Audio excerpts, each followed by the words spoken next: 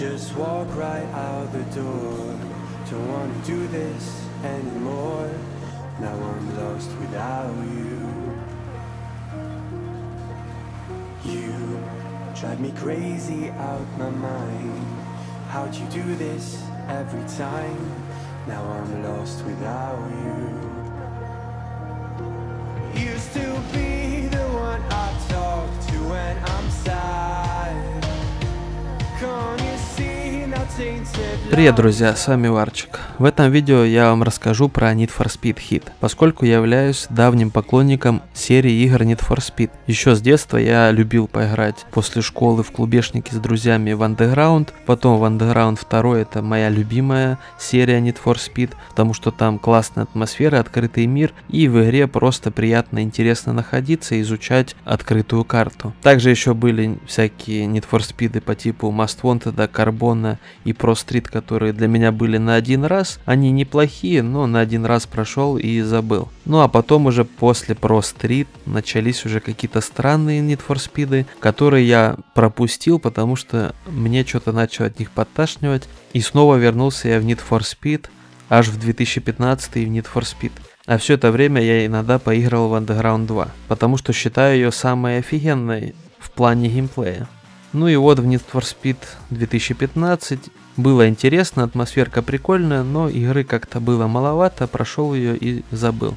Не жалею, что в нее поиграл, но как-то сыроватенько, да и физика была дряхленькая. Потом вышел Payback, казалось, что это возрождение серии Need for Speed, но на самом деле это был какой-то микротренажер для создания следующей Need for Speed, поскольку игры было настолько мало, что я только начал в нее играть, и она закончилась. Мне не понравился Payback, пресное управление и физика. Игры настолько мало, что ты только начинаешь, проходишь и все, в игре нечем заняться, тупо скучно.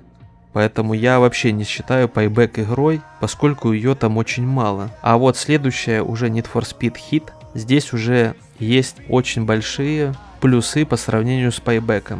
Во-первых, игра только вот вышла, я оформил подписку, решил, что могу обжечься точно так же, как с пайбеком, решил не покупать, просто подписку на месяц оформил, но, честно говоря, можно было бы и купить, если бы я знал будущее. Почему так? Потому что, во-первых, поскольку за эти пару дней я наиграл уже больше, чем в пайбеке. При том, что пайбек вышел хрен знает когда, а Need for Speed Hit вот недавно я просто каждый день играю, мне по кайфу. Во-первых, Здесь открытый мир, который интересно изучать. Есть очень много нычек, очень прикольный город Палм-Сити, который сделан по мотивам Майами. Здесь пальмочки, пляжики, здоровенный город, все красиво, насыщенно. Картинка, на мой взгляд, лучшая среди всех Need for Speed. Самая красивая. Офигенные дождливые ночные гонки. Днем все выглядит сочно, классно, офигенно. Музыка очень хорошо подчеркивает когда день, а когда ночь. Музыка совершенно разная. Днем она веселая, позитивная, ночью она пожестче. Ну и геймплей дневной и ночной тоже отличается. Все из-за полиции, которая гоняется за тобой днем никак почти, если ты только ему ногами в лобоуху не заедешь. А вот ночью они просто бешеные, и они прям реально пытаются тебя найти, а потом начинается бешеная погоня, которая уже наполнена новыми элементами, такими как очки прочности нашей машины. Днем они почти никак не страдают, а вот ночью полиция реально может за несколько сочных ударов просто развалить твою тачку в хлам и все, что ты накопил за ночь, а это очки репутации, ты буквально половину сразу теряешь, если тебя поймали, поскольку днем ты фармишь деньги, ночью ты фармишь репутацию. За деньги ты покупаешь, за репутацию ты открываешь. Это очень прикольно, интересно, геймплей отличаются, картинка тоже очень сильно, музыка все это подчеркивает. Плюс звук. Звук в игре просто пушка. Он очень сильно поддерживает атмосферу, звук машины очень сильно меняется. Мало того, что можно в гараже при помощи новой кастомизации настроить свой выхлоп, так еще и звук машины меняется в зависимости от того, что мы в ней улучшаем. Буквально все влияет на звук в машине, это просто великолепно. Также в гараже еще можно купить новые фишки для машины, которые будут работать пассивно либо активно, в зависимости от того, что это. Это и антирадары от полиции, и усиление корпуса, чтобы полиция не так сильно нас разваливала. И там очень много всего для закиси азота. И в принципе машину можно настраивать очень хорошо под себя.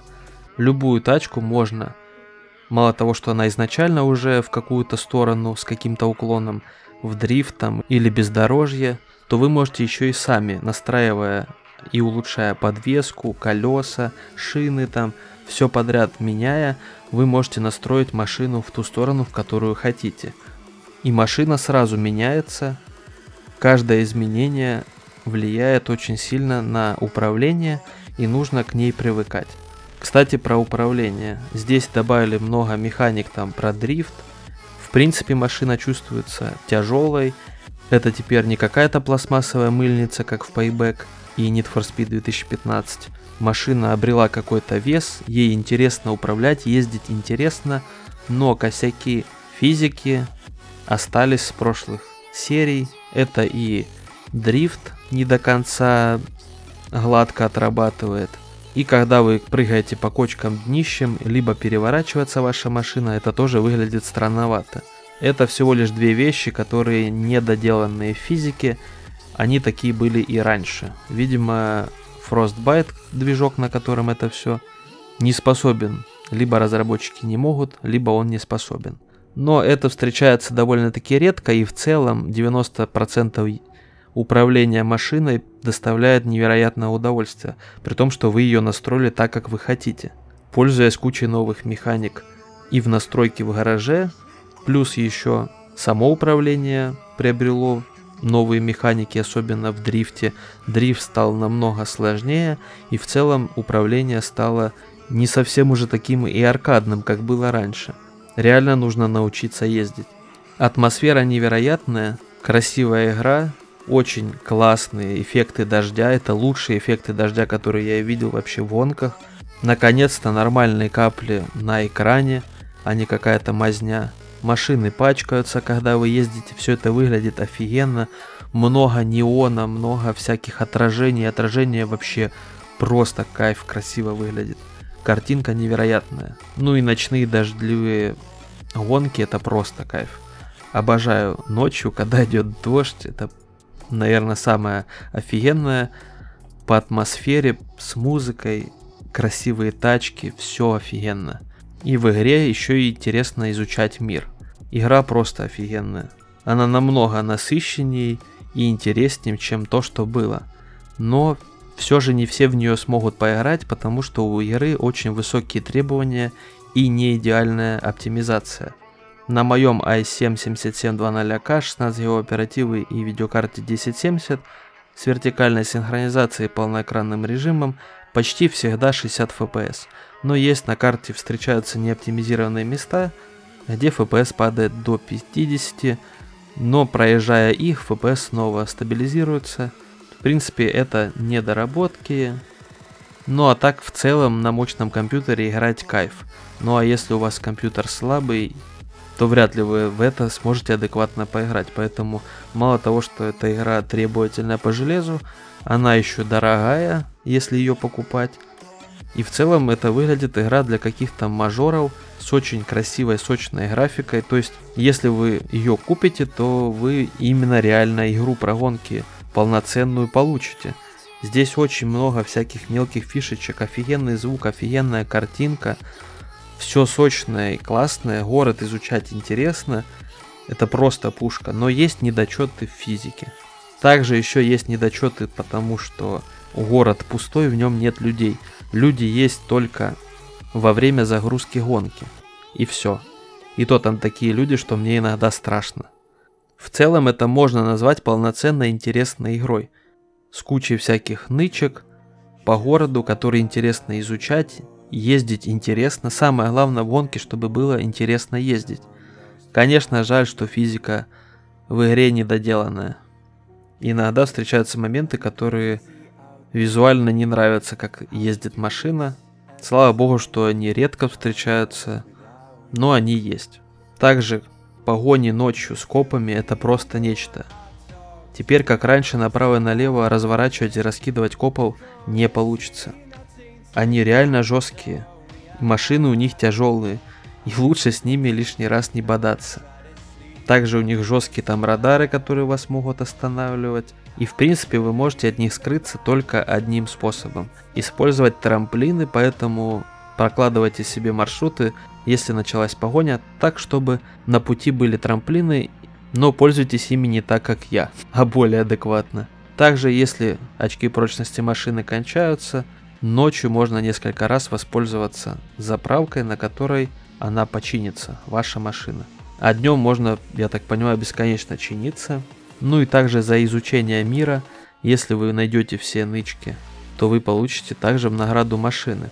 Нычек очень много, поэтому разработчики, чтобы не пугать людей большим количеством спрятанного по всему городу, разделили город на 18 участков, в каждом из которых есть определенное количество спрятанного. Это и неоновые лампы спрятанные, которые нужно разбивать, забираясь в укромные места. Это и граффити на стенах, находя которые вы будете еще и получать эти наклейки в гараже, чтобы потом клеить себе на машину, если хотите. Кстати, про кастомизацию машины.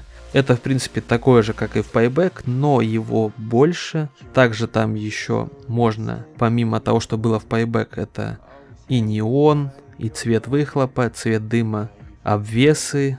Также еще добавилось, я уже говорил, настройка звука выхлопной системы. Также еще можно настроить гудок свой, но там что-то пока скудноватый и скучный выбор. Ну и в принципе еще есть главный герой, которого вы можете выбрать в начале игры, и их очень много. Кастомизаций вашего персонажа дофига. Там буквально по 100, по 200 вариантов каждой вещи вашего персонажа. Это и кепки-шапки, очки, маски, куртки, футболки, шорты, штаны, кроссовки от Adidas, Выбор просто большой. Но персонажи выглядят как-то немножко деревянненько в плане лица. В целом есть над чем работать в следующей Need for Speed. Но в эту уже очень интересно играть, потому что в ней много всего.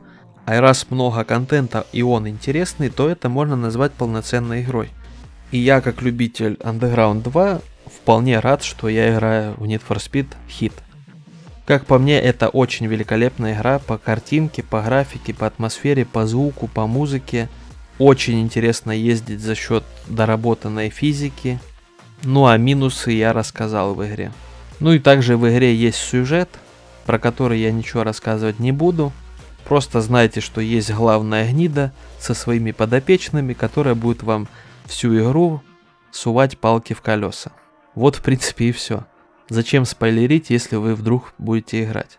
С вами был Варчик, играть красиво. Всем пока.